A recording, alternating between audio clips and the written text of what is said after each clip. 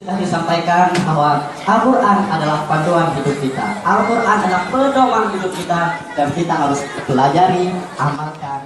Al-Quran. semua deh aku nengoknya wah banget deh gimana caranya keren banget asli Nanti insya Allah tak jalan. Wah, Nana ada acara lagi. oh ada cara Nana duluan ya. ya Assalamualaikum ya.